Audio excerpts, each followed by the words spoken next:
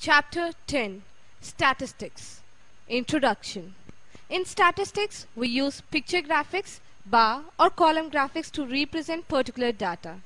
Picture graph helps a layman to understand the data very well. From the very beginning, when we start teaching a child, we use pictures because they are easily understandable.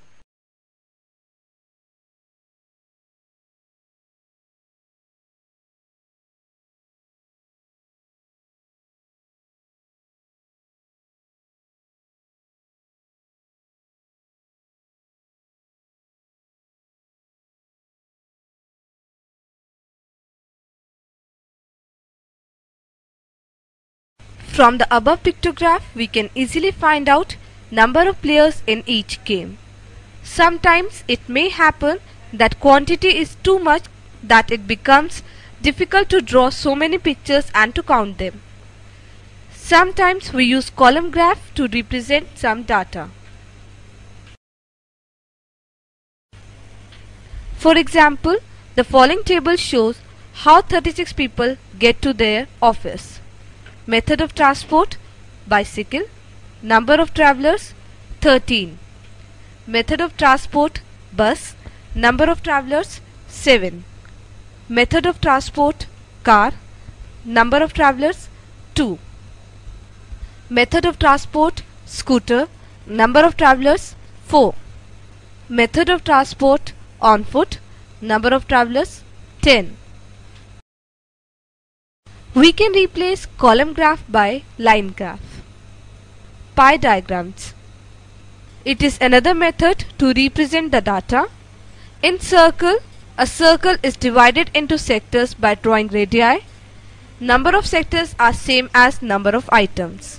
To draw pie diagram, we divide the circle into different sectors with suitable degree of angle depending upon the given data. Example.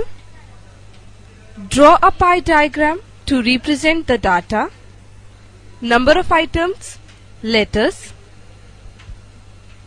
name of the items, letters, number 80, name of the item, postcards, number 50, name of the items, parcel, number 40.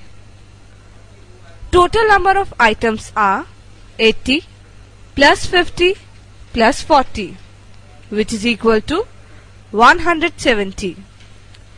Letter Central angle is equal to 80 upon 170 multiplied by 360 which is equal to 169.4 which is equal to 169 approximately. Postcards.